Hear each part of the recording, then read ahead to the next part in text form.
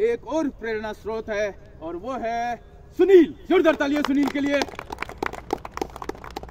बहुत बढ़िया सुनील। कितना टाइम था आपका आज? आज सात चार अड़तीस। चार मिनट अड़तीस सेकंड लेकर के इन्होंने एक बेहतरीन शानदार टाइमिंग दिया। एक बार जोरदार तालियाँ इनके लिए। कितना वक्त हो गया आपको यहाँ आए एक महीना दस दिन। एक महीना दस दिन हो गए इन्हें। और कहाँ से आए हैं हिंडोन सिटी करोली। हिंडोन सिटी करौली से हैं ये।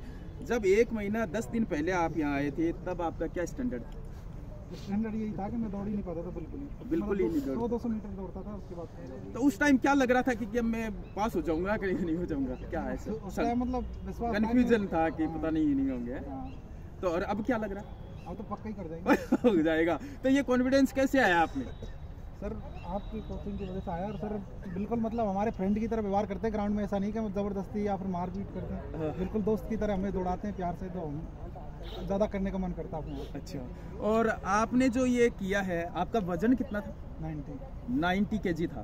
तो 90 केजी वज़न के होते हुए आपने ऐसा इम्प्रूवमेंट कैसे कर लिया?